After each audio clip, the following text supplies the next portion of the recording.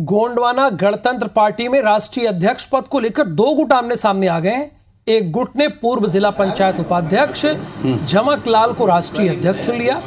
आपको बता दें कि वर्तमान में पूर्व विधायक मनमोहन शाह भट्टी की बेटी मोनिका भट्टी गोंडवाना गणतंत्र पार्टी की राष्ट्रीय अध्यक्ष के रूप में काम कर रही हैं। लेकिन इसी बीच जिला पंचायत छिंदवाड़ा में उपाध्यक्ष रहे गोंडवाना गणतंत्र पार्टी के निष्कासित जिला अध्यक्ष झमक सरेआम एक गुट की बैठक उन्होंने ली और खुद को अपने साथियों के साथ अखिल भारतीय गोंडवाना गणतंत्र पार्टी का अध्यक्ष घोषित कर दिया। साथ ही उन्होंने पाँच प्रदेश के अध्यक्षों को भी बदला और मध्य प्रदेश के ग्यारह जिला प्रभारियों की नियुक्ति भी कर दी, जिसके बाद छिंदवाड़ा ज़िले की गोंडवाना गणतंत्र पार्टी के समर्थकों में खलबली मची हुई है।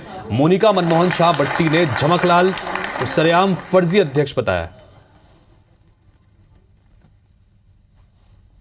और 10 आठ दो हज़ार तेईस में हमारी जो पूर्व अध्यक्ष थी, मोनिका मनमोहन सिंह भट्टी उनका कार्यकाल समाप्त हो गया।